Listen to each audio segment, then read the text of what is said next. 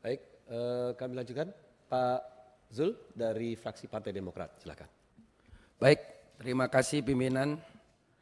Yang pertama saya mungkin ingin memperkenalkan diri kepada Kepala BPH Migas agar kenal saya siapa. Saya adalah anggota DPR RI fraksi Partai Demokrat agar Ibu mengenal saya secara pribadi Bu ya.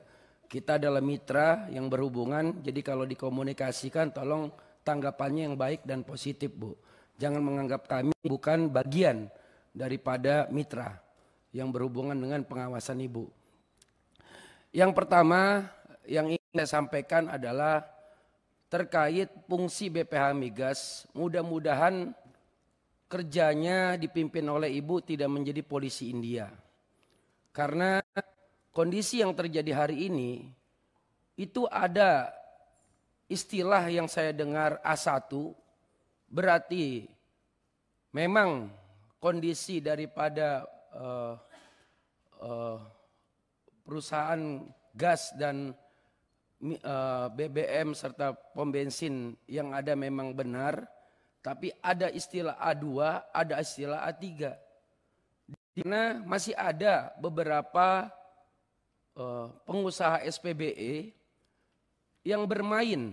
Saya tidak paham cara bermainnya seperti apa, pimpinan. Tapi yang saya dengar rata-rata ada penggunaan tabung gas yang bersifat ilegal.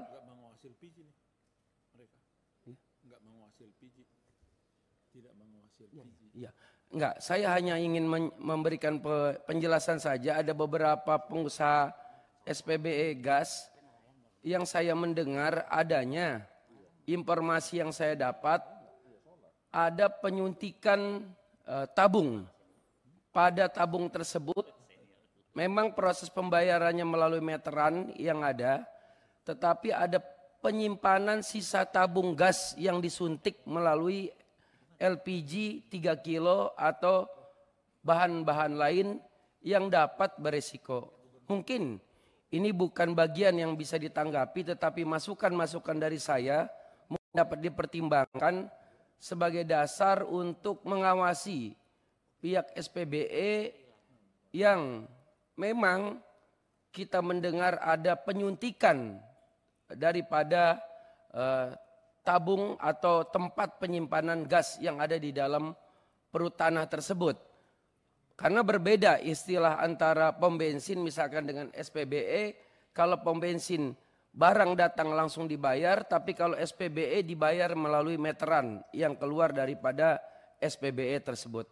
Mungkin ini bukan bagian yang serius untuk ditanggapi, tapi penting saya rasa untuk diperhatikan. Terima kasih.